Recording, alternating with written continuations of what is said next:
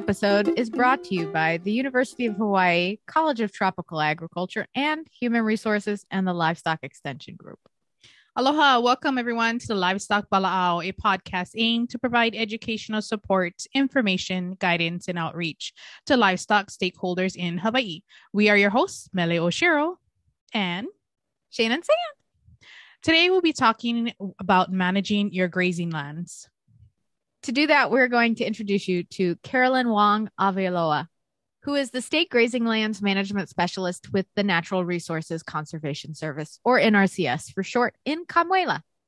So I first met Carolyn during my undergrad studies over at UH Hilo um, or maybe through some mutual friends. Uh, I can't really remember for sure which came first, but fast forward to many years later, and our paths crossed again while I was working as a research assistant for project with uh, UHCTAR. And I was sent out to go meet with Carolyn. I was like, wow, I wonder if that's the same Carolyn that I know. And sure enough, we both walked in and went, oh, it is the person I know.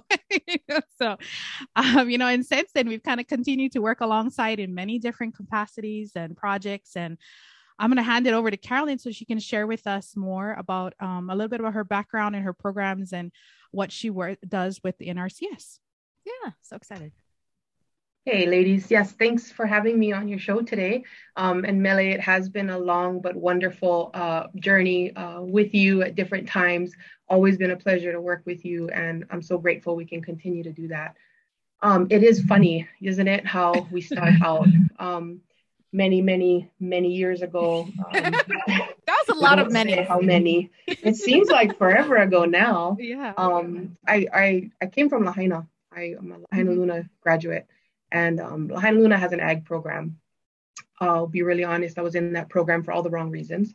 But anyway, um, I got through high school and um, decided to continue to pursue this elusive idea of um, maybe studying agriculture and, and getting a job actually came across an old um, scholarship essay where I said in that essay that I wanted to get in a career that involved land management. And I had no idea at the time um, what NRCS even was. I had no idea what this agency was or did. And it was while I was a student at UH Hilo that um, I learned about NRCS. My the professor I was working for at the time um, Dr. Randy Senock, he uh, encouraged me to consider applying for an internship that I had heard was being advertised. So um, I was I pursued my Bachelor of Science at UH Hilo. I got my uh, degree in agroecology and environmental science, and um, it was a great degree path. Um, it basically um, focused on that area where agriculture and the environment kind of overlap.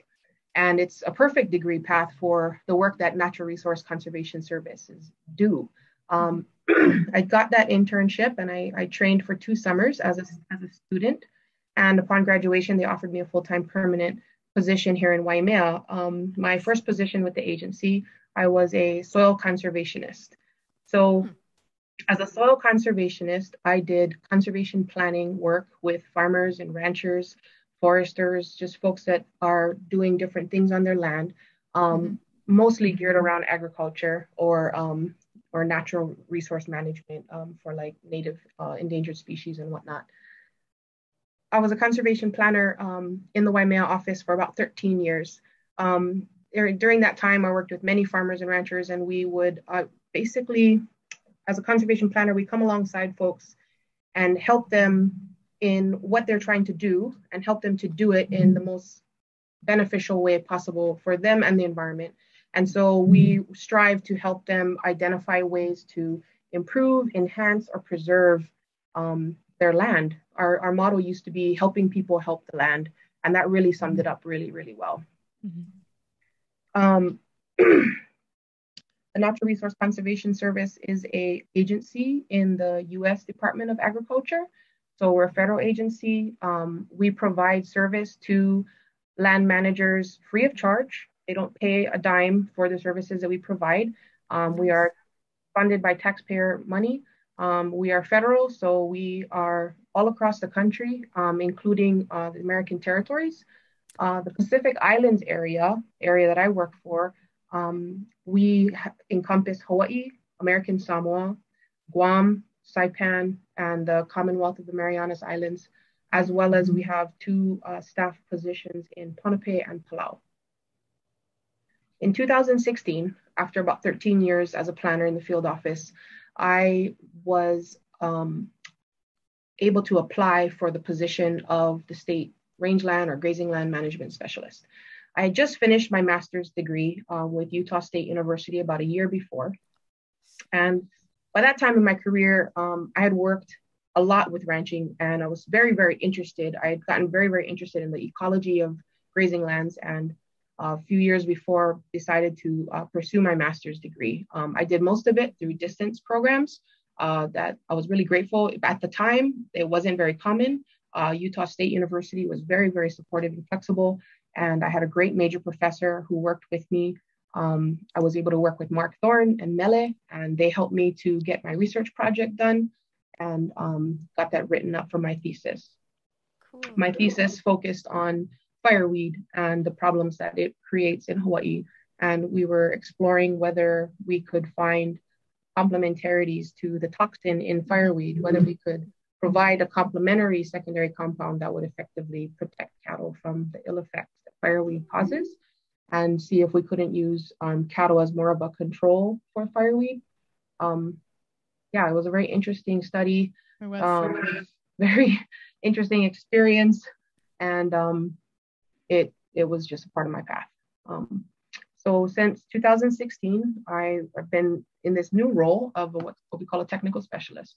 Mm-hmm. Um, so as the grazing land management specialist, I am responsible for conservation program in Hawaii or in the Pacific Islands area on grazing lands, more or less, me and my team.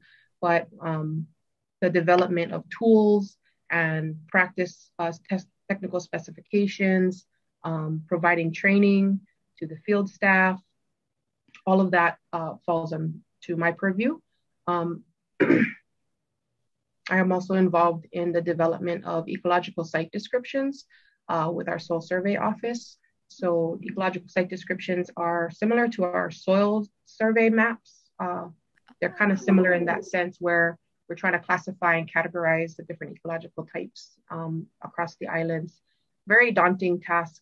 Um, especially with so many different like species and just everything here oh, climate zones yeah, yeah, yeah it's very very complex um so lots of lots of work to do always um always I'm gonna throw a question at you. I mean, I think I have a lot of questions, and I tend to pick Carolyn's brain about a lot of things, and we do um, about a- all kinds of different things. But I think you know, natural resource management. When Shannon and I were talking, it's it's tough because nature is nature, has a mind of its own, um, and you know, I mean, we see that already, you know, in, in many different areas right now, dealing with the drought and all this stuff in our in our Hurricane own state season, and across flooding, the across the, na- the nation, right? Yeah. yeah. So, I guess can you share something in your planning ex- when you in your planning days maybe some of the common challenges that you found that ranchers or producers deal with um, here mm-hmm. and as far as like in pasture and grazing management and how you know you worked around or how did they resolve some of those issues or big challenges i guess the common challenges you can see across everyone sure sure oh man um for sure the the biggest one are some of the ones that you guys mentioned um, especially affecting ranchers is drought wildfire those are the two biggest ones that affected the folks that I worked with the most. Invasive species would be another one. And so, you know, across the board with all everyone that we work with, um, we are obviously we're we're working to address the the real obvious or um, specific natural resource concerns that there might be. Maybe it's a inadequate water situation for you know livestock, or maybe it was a soil erosion problem.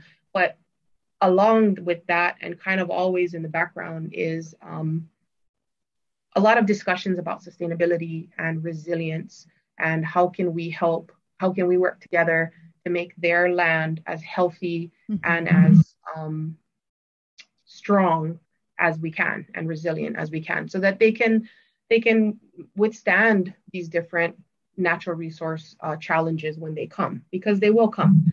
Oh, um, oh, yeah. but when we can, but when we can do what we can to work together to make sure that the plant community in the pasture is diverse and, and healthy and thriving and vigorous, Uh, when we can we working together make sure that the soils are healthy and strong and we've got really good environment for for supporting that plant community that we can make sure that the hydrologic function of that landscape because everything is part of a watershed right mm-hmm. and we can be sure that even our grazing lands are um, well equipped to to provide the function of water infiltration and filtering um, in order to absorb as much water that can be absorbed when it falls um, and take it deep into the soil profile. Those types of things are in all of our conversations, or they should be with with ranchers. Um, mm-hmm. And so, I'd say in dealing with with Mother Nature, um, we just want to try to work together to make that land as strong and resilient as possible, and and really work with the producers too to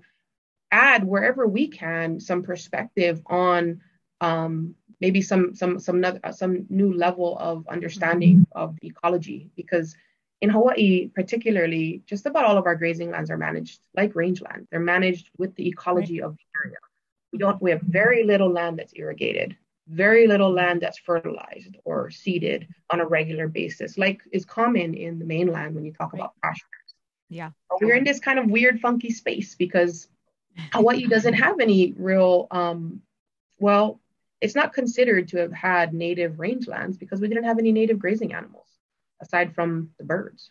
Right, right.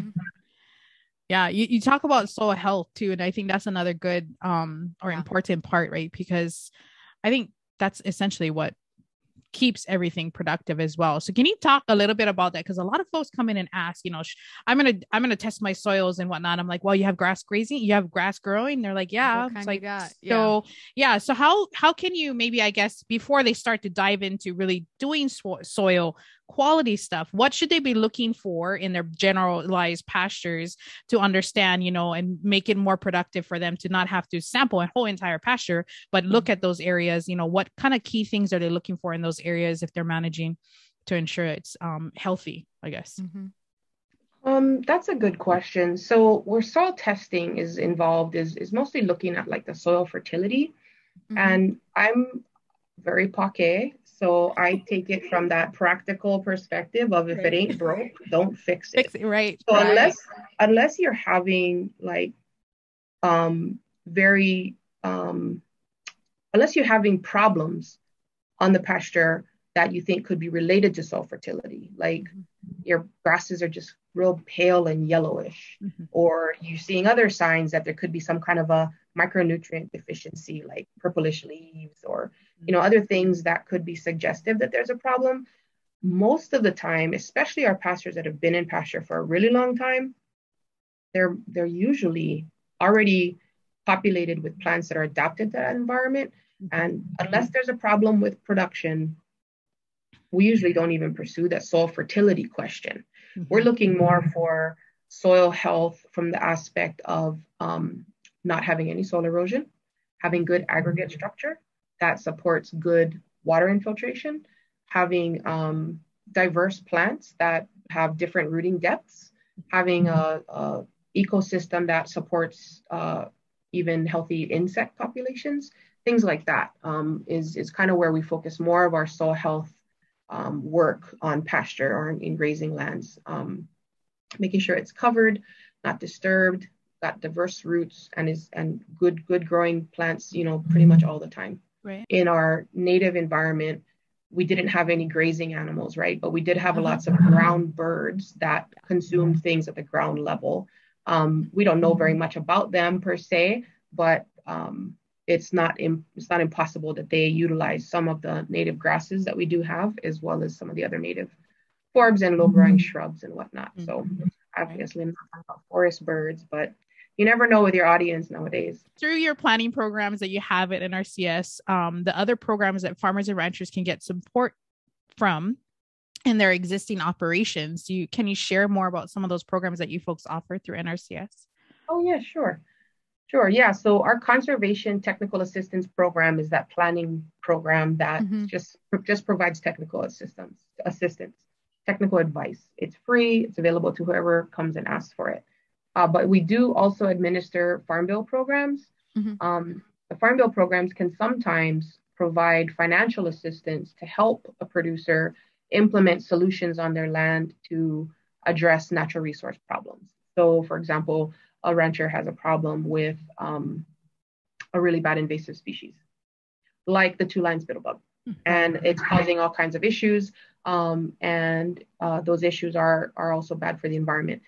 Sometimes uh, we have programs. One of them, for example, is the Environmental Quality Incentives Program that can come alongside them. And from the, the technical assistance they got, we've developed a conservation plan. Mm-hmm. Sometimes the program can come alongside and say, okay, um, for the practices in your plan, this program can help with offset some of the costs mm-hmm. that it's going to take to adopt some of those and implement some of those practices. So practices are things like fence or brush management or pasture and hay planting, right. pipelines, stuff like that. So that's the EQIP program, right? Correct. Oh, okay. I was like, I've never heard anyone actually say all the acronyms out loud. And I was like, oh, oh. what it stands for. I was like, yes.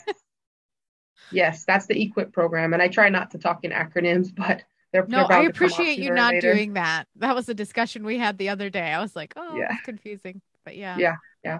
Yeah. So to be eligible for EQIP, um, mm-hmm. basically, a, a producer just needs to come and express interest in the program. Um, the field office will really be the first um, step for them to determine their eligibility. But in general, um, some of the general envir- uh, eligibility requirements are they have to have control of the land. So they either have to own it or have a lease on it, and the lease has to be long enough to allow them to implement the plan.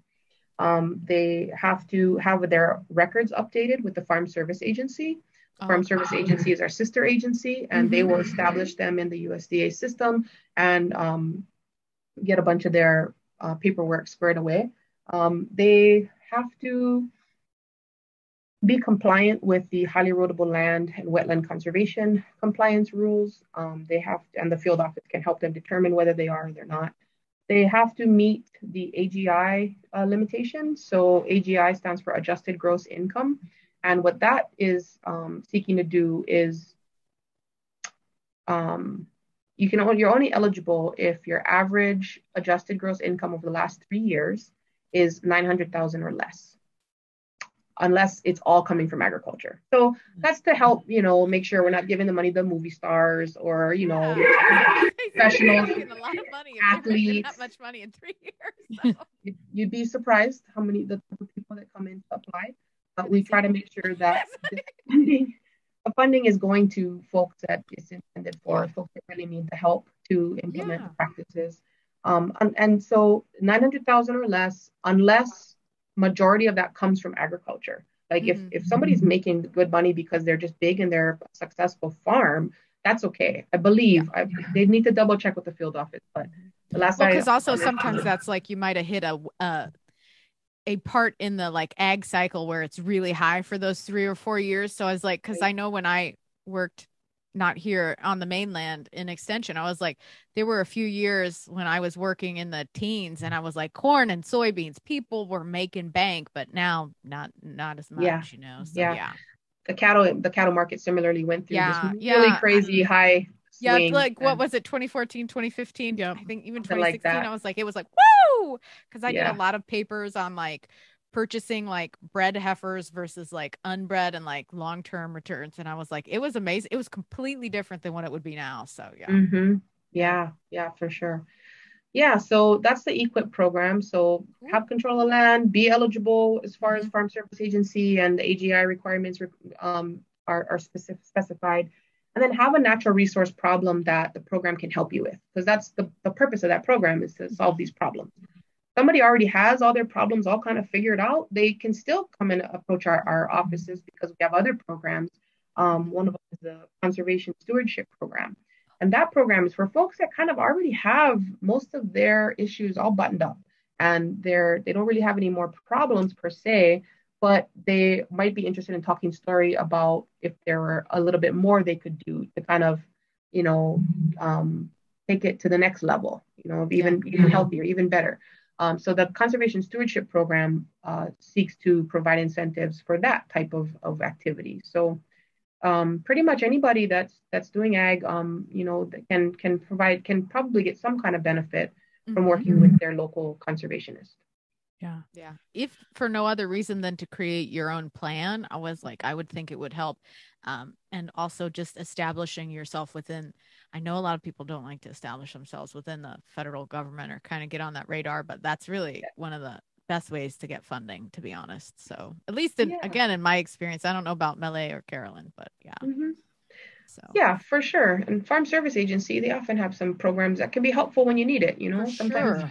especially right right now with all the disasters that are affecting. I was gonna say over the last year and a half, they've had some really nice ones. If you were lucky to hop on it and stuff, I was like, mm-hmm. yeah, yeah. Yeah the the services and programs that they provide it's good. It's good to get on the list and just have that communication with them yeah.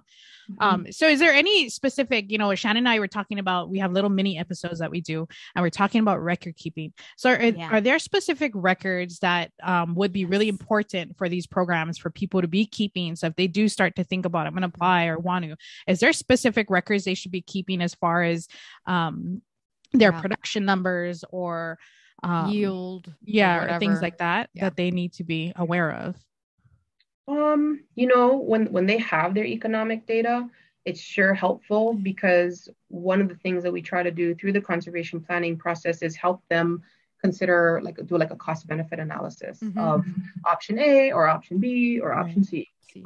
Uh, but if they don't have that kind of information, it presents a challenge. Most of them have a good idea. Um, and we're not trying to get all up in their business and know all their numbers, but I don't even need, really need to know necessarily what their um, what the actual dollars and cents ended up being at the end, but more of the numbers as far as like, well, what did your calf crop look like? Um, right. You know, what percentage of your herd is actually productive? Right. Because a lot of times for us, it's we're getting down to talking about um, their grazing management. Mm-hmm. And the grazing management is going to be linked to their herd size and the productivity of that herd. And are their nutritional needs being met in a way that is optimal for what they're trying to produce, you know? Um, or if they're grass finishing, then again, okay, well, are you hitting your goals? Are you keeping track to know if you're hitting your goals? Mm-hmm. Um, they usually have a good idea of, of what a lot of those types of numbers are like. Mm-hmm. It sure is nice when they have it specifically, so we're not just guessing.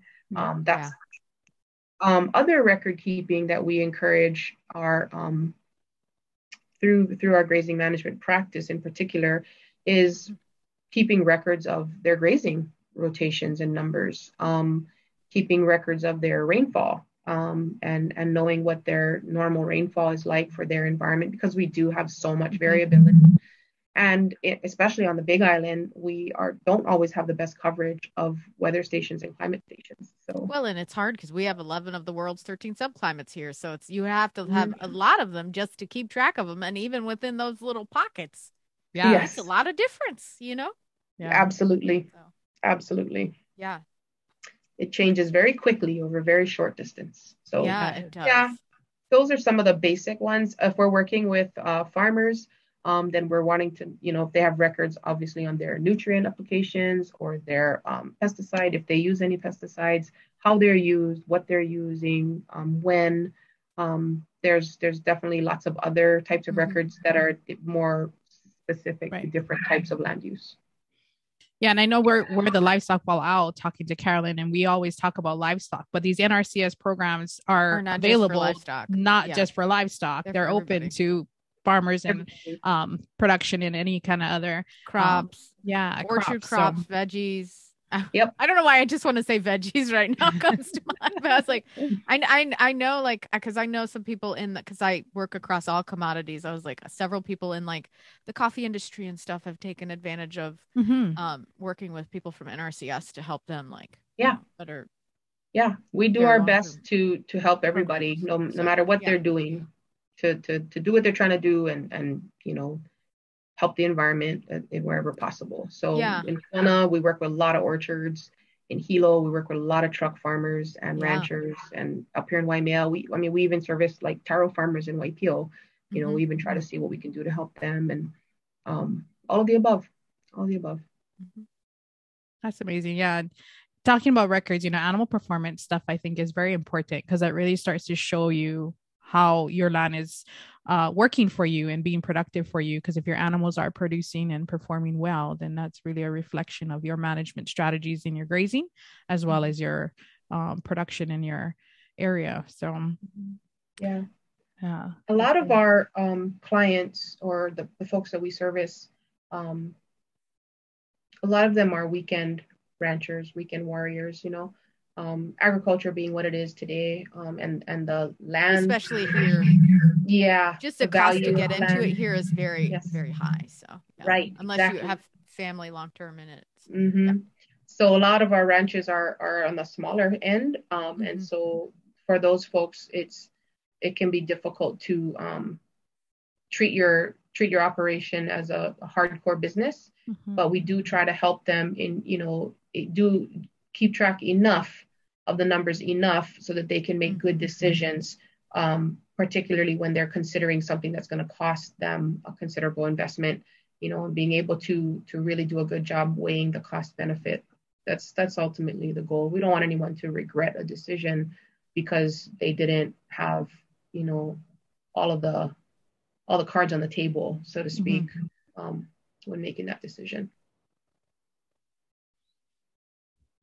So it sounds like some of the producers can use a lot of these programs to help them manage risk and whatnot too on their properties or in the, the herds or whatnot that they're doing. So how mm-hmm. how would you say that these programs could help them in that sense and managing risk manage within risk. their production? Um, that's a great question.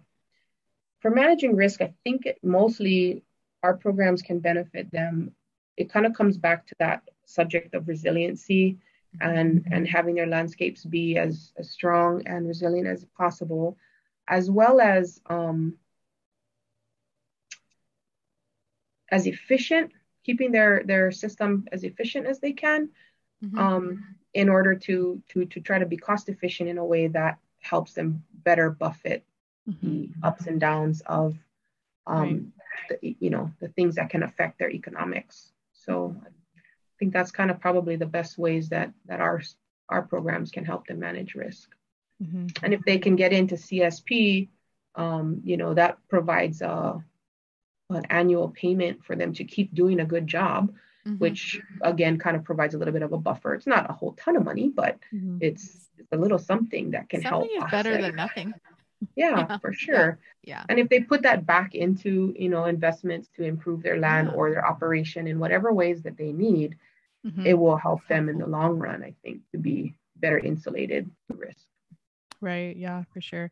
So you must be, I mean, I can keep throwing questions at Carolyn, but um maybe you can share with us some of the one or some instances, you know, you probably helped so many different people on planning different things um, but i'm sure there's stuff that probably stuck out to you or had a you know big impact in your position um, or just your work you know i mean when you go out there and help somebody, it just it just feels good to be able to go out there. So you want to share maybe on one of your um impactful mm, stories. Gosh, I'm gonna put you on a spot. No. that's hard. Um right? I know because you probably worked in so many in so, so many, many, different capacities, but I think, you know, I mean, mm-hmm. yeah, you you can mush them all together. No. yeah. Um you know, one of my one of my one of the bright spots for me in my career, and there's so many really. Um, I got to help a, a ranch put in a very large reservoir that had been a dream of the rancher for a really long time. Mm-hmm. Um, and we got to help put together the technical um, information as as well as um, help offset some of the costs to to put in a big, a really big water storage system. Mm-hmm. And I just know, you know, water, you know, even culturally, it was a uh, had a connotation of wealth. Yeah, vai vai, wealthy, and water makes so much possible.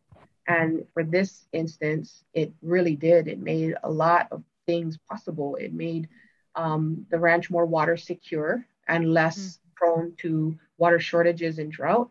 And it also provided, you know, new opportunities for them to, to explore um, other things like like irrigation and stuff. And so that was a that was a huge one. Mm-hmm. Um, I worked with another ranch that had been operating on this landscape for a really long time and had a hard time um, making change. But we he he didn't really have um, a lot in the way of a rotation, and it was difficult to convince him of the benefit of adopting a rotational grazing system because he didn't he didn't necessarily um, think that it, he stood to gain much. But one of the things that was really cool by going through the process and walking with him through, helping him see on his landscape what constant grazing was doing. It was, you know, we we thought he didn't even have any more kikuyu grass because you could you couldn't find it anywhere. Mm-hmm. It looked like all carpet grass, and um, we also I asked him to share his numbers with me, and it was difficult to get that information. But once we finally did, we realized his calf crop was actually really poor. Um, it was yeah. just barely better than 50%, which you know for the industry, that's that's not that's nowhere near acceptable. Mm-hmm. You're aiming for 80% or better. Um, and so by helping him identify these things and walk him through and help him see the cost benefit because with every cow that was on his land, it was costing him money. He had to pay money for their water was very expensive. He had to, and then of course for all of the vaccinations and health supplements that the cows did get when they came in once a year. Um, it was costing him all this money and he was getting very little return back. So when I was able to help him walk down that road and give him a safe space in which to walk down that road and just assess the situation from just the practical realities of what it's costing and what he was actually getting I could help him see how actually bringing his herd size down and destock because he would always tell me, "You cannot tell me I got to get rid of cows. I need every single cow on this land." that seems like, like, a rancher thing, doesn't it? I, I understand. Like, yeah. Yeah, yeah. I said, I understand what you're saying, but if that cow is not paying her rent and she's not doing you any good, and you don't need her out there, so when we could put the numbers together, to say, okay, I mean, it was real rough kind, like just pen and paper numbers like approximately what are we doing here what does it cost and just just running those basic numbers running that little analysis i saw a light bulb go on for him and he realized all these non-productive cows are the reason i'm not profitable mm-hmm. and he immediately i didn't after that i just had to get out of the way because he immediately started making decisions to get those animals out of and his resources on the animals that were productive. And then he also was willing to listen to me about getting some cross fences in and training these cows to get into a rotation. And, you know, his pastures rebounded so beautifully. I mean, to see the response on the land afterwards was just an extra, you know, was gravy. I mean, we we found kikuyu grass where we thought we hadn't had it anymore. And then now I got to work with him on all right, let's let's nurse this land back to health and build its resilience and I, I believe he's still pretty happy with the system that we put together. I haven't been able to work with him for some time now, but I know he continues to to work with our planners and you know it's kind of on to the next thing and the next thing because mm-hmm. when you're that far when you feel that far underwater it's very very hard to even begin dreaming about building a boat let alone yacht right yeah so, um, to help him get his head above water first to be able to get to that place and then become stronger and stronger and, and then now he's he's tackling other issues is, really, really gratifying. That's awesome. That is yeah. awesome. Yeah, sometimes you just have to really paint the picture for them, yeah, to be able to see. And um, it does t- sometimes it takes an outside person to kind of paint it for you to yeah. be able to show you, yeah, those things that are hurting you in the long run. But mm-hmm. absolutely, sometimes yeah. you're just too close to it to see uh-huh. it. Mm-hmm. and and having that outside perspective is is really really valuable but you know after spending as much time in this career as I have, um, I've really, really come to realize and understand and appreciate just how important relationships are.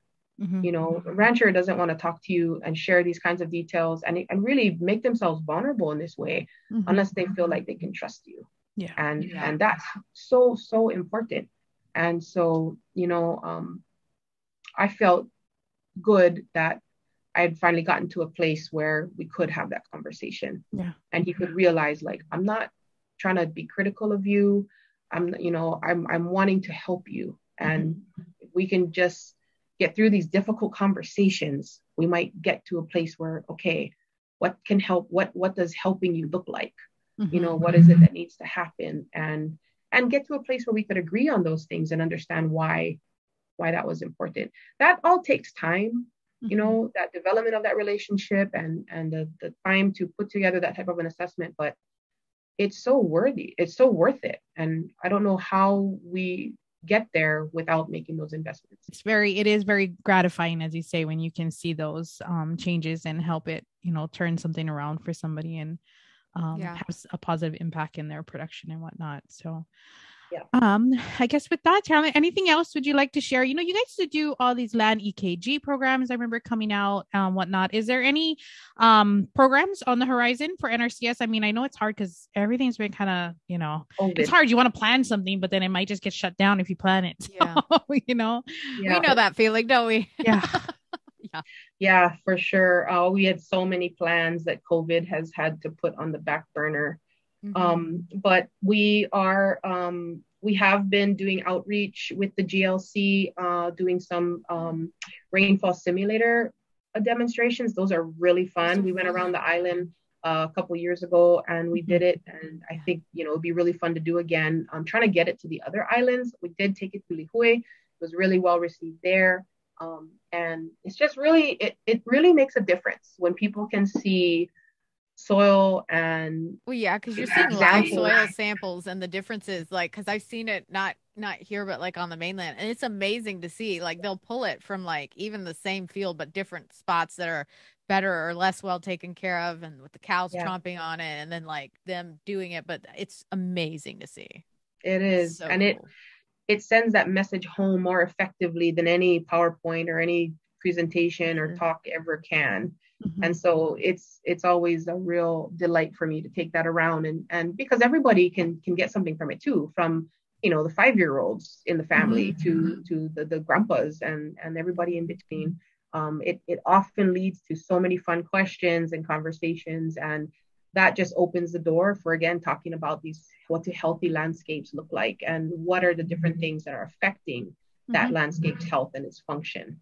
mm-hmm. um, so yeah as soon as covid will allow um, we we want to do more of those. We definitely could, would love to work together with some partners to look for uh, grazing, you know, workshop type things that we can help to sponsor um, or help to coordinate. Um, yeah, yeah, we've done stuff in the past with low stress animal handling, um, lots of different grazing management types of projects, um, looking even at uh, the carbon cycle and carbon sequestration on grazing lands. We've, we've brought in speakers that kind of covered the gamut, um, and we'd love to continue to do that. Um, we've also brought in guys that talk about economics. Um, Ranching for Profit was out here a few times, and so yeah, yeah all that stuff. It's all connected. You know, mm-hmm. it, it really is all connected um, to to the management, and and there's those little pieces that connect them all. Um, when you can improve or or enhance one part of it, it just helps the whole thing to float a little better. Right. Mm-hmm. Yeah. We're also working um, and trying to build some relationships during COVID um, with some of our other partners that maybe we haven't worked too closely with before. Mm-hmm. Um, the university has a wildlife lab, I think they call themselves. And so getting into that conversation of um, those conversations around uh, non-native wildlife and the impacts that they have on landscapes, particularly when their numbers get out of control, no. or, and or when landscapes get impacted by drought.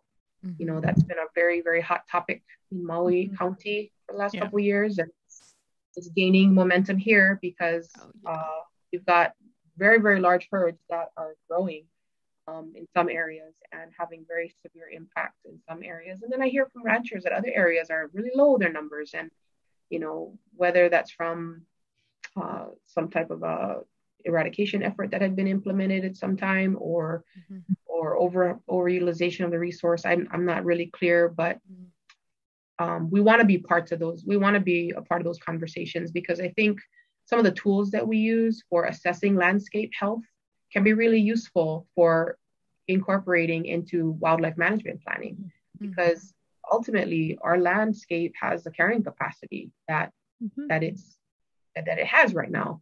And when we're stock heavier than that, whether it's domestic livestock or non-native um, wildlife, we are affecting that land, and and not in good ways.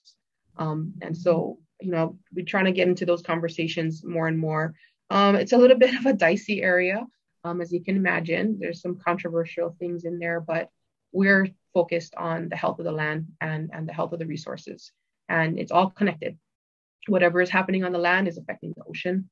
And so, you know, as much as we can make those connections and see where where we as humans in this ecosystem can be responsible for Kuleana and and taking care of things because we are the predator in this case. There are no other natural predators that keep right. these in check. We are the management. We are the ones with mm-hmm. you know the manao and the understanding to to try and um, be wise about what we're allowing to happen. I spend a lot of time thinking about that lately. You know, mm-hmm. no action is actually a choice, mm-hmm. and we are paying dearly in a lot of ways for no action decisions. So there's that. Um, two-line spittlebug. COVID doesn't really stop us too much from uh, some of the work that we're trying to do there. That's good. Trying to uh, work alongside Mark and his team um, and really try to answer some of the other questions um, that really fall into our our our realm of uh, trying to figure out solutions to the problems that are being created by the two-line spittlebug. Mostly um, solutions that are involving uh, planting resistant species. Mm-hmm. So I've got a bunch of different field planting projects that we're working on, gathering data, trying different methods, trying to figure out what can work and that is scalable. Um, mm-hmm. And so we are halfway through many, many projects um, and just starting to get some really cool results. Um, and now trying to see what what is those are repeatable and uh, what can we um, then say, all right, we have a strategy that can work for these mm-hmm. situations. Mm-hmm. And then you know continue pursuing solutions for those strategies that you know we're still lacking um, we have a prototype that we just just put together um, for a light trap that we are trying to see if we can develop a, a low cost um, simple light trap that can be used to um, confirm uh, low level spittlebug. When, when spittlebugs first get on a landscape, they can be very hard to find mm-hmm. when they mm-hmm. first arrive. Um, but light traps can be very effective um, because they're attracted to that light that we might be able to know earlier before the grass all starts to die and before the weeds all start to take over that the spittlebug has arrived mm-hmm. and then be in a better position to start monitoring and um, being ready to respond to the problems that spittlebug usually brings with it. Um, we, we just put together a, a new website on the spittlebug. Um, it's www.tlsbhawaii.com. And on that website, several partners were involved in putting it together, but um, there's pretty much almost all the information that we have on the spittlebug, you know, in, in, a nutshell. I mean, we try not to make it too long and boring, but there are lots of links to additional resources, information on the bug itself, on what producers can do.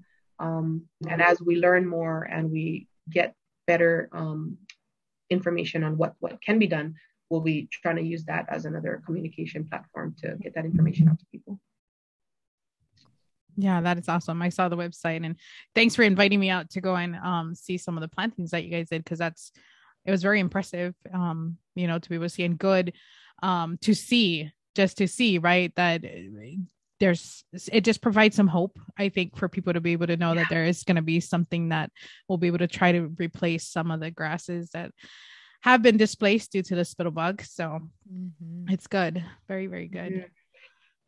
yeah yeah that day was very awesome um it's nice to for us too to know like okay we know that this can actually work and we know what the planting rate needs to be in mm-hmm. order to get to this desired mm-hmm. outcome you know, all of that kind of information because Kona is so unique.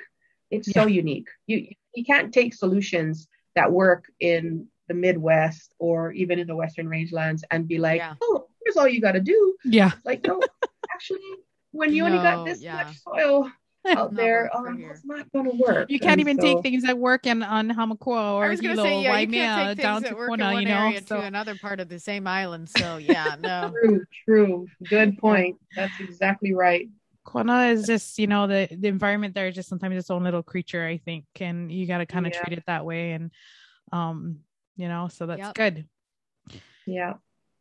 Yeah. God must have thought I was getting bored or something because here he went and slapped me up with a huge challenge. Um, all of us, you know, I mean, I'm not the only one trying to find solutions, but I was like, wow, didn't see this coming, and never in my wildest dreams did I imagine that we'd see a new invasive species that is having the kind of impact that this little bug is having. Exactly. It's just mind blowing. It's It is just mind blowing. Yeah. It's definitely job security for a long time Yeah. because the, the cards are still falling. Un- you know. yeah. Yeah. Yeah. Unfortunately, Reed, yeah, unfortunately, yeah, it's not something that definitely is going to go away in the next um few years or um No. you know, but hopefully we'll have some type of um, management strategies for them or just, you know, the uh, alternative forages that we can use and stuff. And Yeah. so that's um we're going to hope one, for and be one silver lining that the spittlebug has provided, a couple of them. Number one, I get to work with ranchers again, which has been fantastic um, with my field offices. But, you know, putting our heads together, being on the two line spittlebug subcommittee, um, you know, we got some ranchers on there and we've we've been able to brainstorm and and that's where a lot of these ideas are coming together you know is, is as we kind of do this together um so getting to work with them again has been fantastic and um, it's gotten me in the field a lot and i'm so grateful for that. But um also the um greater appreciation for biodiversity um, because kikuyu grass is such a monoculture because it's so aggressive um, it, it kind of makes itself vulnerable in that say in that way. But now you know we we really get a, a huge appreciation for just why biodiversity is important Mhm. it's not easy to get when you have healthy kikuyu grass pasture it is not easy to get but i have had the pleasure of working with some pretty awesome grazing managers that have managed to have some diversity in there and you know what what you can mix in with kikuyu grass really depends on where you are Mhm. but um, there's almost always something that you can have in addition to kikuyu. You might not have a ton of it, but as much as you can be Mhm. grazing in a way to encourage it to stay and to persist and to increase, you know, you'll be in a better position if and when mm-hmm. spittlebug ever gets. Yeah. Well, and I don't think any of us ever really expected to, or thought that there was going to be something that was going to come through that attacked the Kikuyu. You know, I mean, it's it when it's when it gets set, it you like you said, it's a monoculture in there, and it just it sets it up so well, and it just is really resilient. I mean, you go through periods of drought where you just think everything's dead, you get a little bit of precipitation, and it all comes back. So we never really thought that there was going to be something that was going to come and take it out. So so aggressively. So. Yeah. You know, You even run a huge fire across it, and Right. a lot of it comes back pretty quickly, but Mm-hmm. not. We we have also had found some patches that are not coming back so well. So Mhm. Mm. yeah, Right. it's been so dry, so dry. so dry. Yeah. Yeah, and the wind doesn't we're in help what a when the wind D3, comes D4. through. Hawaii County's in D three, D four. Mm, two, two, three, I think. Oh, we in Two, two three. Three? Not the whole county, but certain certain parts of it. Yeah, yeah, Yeah. I knew Maui- was already declared a yeah, Maui's in a real severe drought. I just was on the drought map this morning, and yeah. Maui County is way worse affected. Mhm. But Oh, yeah. You have So any you, other you guys have a program you guys are working with the deer on Maui or are you just trying to get something started? I mean, there's been some questions to us Mm. too about that, but I don't know that there's anybody doing any. We don't have a program or practice that can specifically and directly deal with the deer, but we can help land managers to look at the numbers of deer and the number of cattle and help them assess um, kind of that forage animal balance again. Yeah doesn't matter what type of animal it is the more animals that are out there the more of a demand you have for Right. grass. Um, so we can help them in assessing those things. We can help them in looking at the ecological condition of their land and making the connections about what it's tied to. Um, we can encourage them to explore possible solutions. I'm a big believer that we could be doing more for harvesting these wildlife uh, particularly the deer the deer Mhm. are a very, very desirable protein source uh, for a lot of people. Um, On Maui, in particular, um, and to some degree on Molokai, um, there is some level of harvesting that is going on, and I think that needs to be uh, continued, and we need to continue to look for ways to support and encourage that kind of management because that's really it. It is management.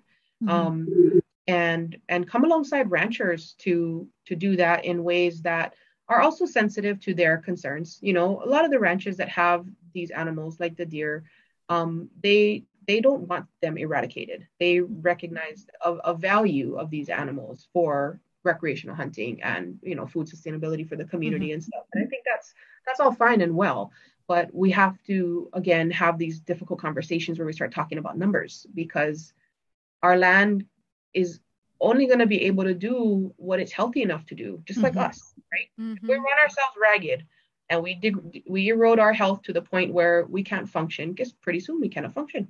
Oh, yeah. And our land is kind of the same way. Um, I've I've had the unpleasant experience of being in places in Hawaii that are being destroyed. We have kaho'olawe happening all over again on a few of our islands because of overgrazing of wildlife animals. And and sometimes you know there's cattle producers that are still trying to raise cattle in these same environments and they are so far in the red when it comes to a forage animal balance it's it's really really sad mm-hmm. and it's really hard and i understand where they're coming from trying to produce livestock but they're stuck because there's this problem that is very very large very controversial there's sometimes very vocal voices in the community that are very anti ranchers doing anything um, or anybody really doing anything to touch these wildlife. Mm-hmm. And what they don't realize is it's costing everybody. Is mm-hmm. you, know, you know who's bearing the brunt of the cost actually is our children mm-hmm. because these lands are eroding sometimes at phenomenal rates and they are totally smothering marine ecosystems that are going to take decades if not centuries who knows how long mm-hmm. to ever heal or recover, if that will even ever happen. Right. Yeah. You know, we can we can't sometimes we don't even know if it's even possible. And it could be preventable. Mm-hmm. It could be preventable. Again, the, the no action is still a decision. Mm-hmm. You know, and so trying to trying to figure out um, how we can come into those conversations and provide good decision support information mm-hmm. so that the ranchers and the wildlife managers and even the special interest groups, the hunters and mm-hmm. the conservation people, like, you know, we all got to come around the table at some mm-hmm. point, and we have to agree that we have some compatible goals and figure out how we can put our differences aside and agree on some solutions that help preserve our long-term landscape health and and and really overall island's ability to right. sustain our ecosystem because mm-hmm. if we don't have a watershed that functions we won't be here much longer either yeah you know, if we can't have water, we're done. Yeah, mm-hmm. we're done. Desalinization is really expensive. Yeah. you know, and and desalinization doesn't do nothing to support a landscape that can provide, you know, all the other Food. creature uh, needs that we have. Say yeah. Yeah. Like climate buffering and all yeah. these great things. Yeah. So yeah, there's there's a lot there. Um, and we we want to be a part of those conversations. I know I sure do. Um, and I'm, I'm grateful every time we get the opportunity. Uh, we are working with our the the real place where I think the real opportunity for um, uh, leadership and involvement at the local level for these problems, I feel like are really at the soil and water conservation districts. They have a unique position and responsibility, um, particularly in these landscapes that are eroding to be able to to come alongside the ranchers and because often the boards are comprised of people that are in agriculture. I mean they're supposed to be. Mm-hmm. um, but that's where i think we can we can that's a table i think we can gather around and um, start having these conversations because that whole that entity's whole purpose is the land's health. Yeah it's a soil and water conservation district. I mean that's their whole function and so i really think there's an opportunity there they are our local partners um, we we are at that table with them gladly, and um, would like to continue to be. And I think that's where we can start to brainstorm and and find creative ways. I mean, mm-hmm. just because we don't have a practice yet that we can directly deal with the rent with the with the problem, maybe we can come up with some creative solutions for how we can we can use the practices that we do have. Um, I don't know. There's I think there's there's lots of potential uh, solutions we could discuss. Yeah, that's important. I think everybody just needs to be able to sit down and, like you said, have that conversation because I think, yeah. you know, and gathering them around because there are, um, there are a lot of concerns from different groups and um, I think it's important for us to just hear and you know try to find a solution together. So, yeah, respectfully. Yeah, I mean, exactly. Well, thank you so much, Carolyn, for joining us today and coming on the show. We really appreciate it. Um, and taking the time out of your day. Hope our listeners can have gained some insight to some proper grazing management and the programs um, that NRCS provide um, and where to reach out to. And, you know, and remember how important it is um, that what you do there on your grazing land, how it impacts uh, our whole entire ecosystem of things that goes on. So, really appreciate it. Is there anything else you'd like to share or add? Um, thank you for having me. Um, I was really tickled to be invited to, come and, and talk story with you guys on here, and it was certainly a pleasure. Um, I'd be, I, I, really appreciate the invitation, and it's really nice to meet you, Shannon. Look nice forward to, working with you. Um, yeah. Now I know I, I, have someone I can call when we have an economic problem. Um, yeah, for sure. Somebody, a call. yeah, yeah, appreciate it. Um, but I'm really glad you guys are doing this. I think podcasts are a great way to um, share information. Um, I love podcasts because I can listen to them when I can listen to them, and that's often that's why we started it. Yeah, it's great. Yeah, yeah, I'm a big podcast fan. Um, there's usually more podcasts that I want to listen to than I have time for, mm-hmm. but um, yeah. they're good. And and I where I live out in the boonies, we don't have cell phone reception, so I like that I can download it to my phone and listen to it when I go for a walk or Same. when I leave the house. So, it's great. Yeah. We're so glad that you were able to join us today on the show. Um, we're very thankful for you to take the time, Carolyn, for talking story with us. And I hope our listeners were able to gain some insight into some proper grazing management strategies and how it can impact their grazing, the grazing lands, and the ecosystems that it's all involved in. So, thank you again, Carolyn, for joining us today. Make sure to join our Facebook page, the Livestock Extension Group, if you haven't already. And be sure to visit the UHCTAR Extension website and our YouTube channel listed in the show notes below. For additional information about this topic, you can see the NRCS website listed in the show notes of the podcast and the description box of our YouTube page. Thanks again for listening to Livestock Wala'au. And before we go, make sure you show some love for your favorite podcast, as Shannon That's would say. Us. That's us. Leave us a review on Apple Podcasts or any of the platforms that you enjoy. Then stay tuned again for next month's episode where we'll be talking about a poultry inspired by our holiday of the month. Thanksgiving. I'm so Aloha. excited. A hui hou. Till next time. A hui hou. Malo.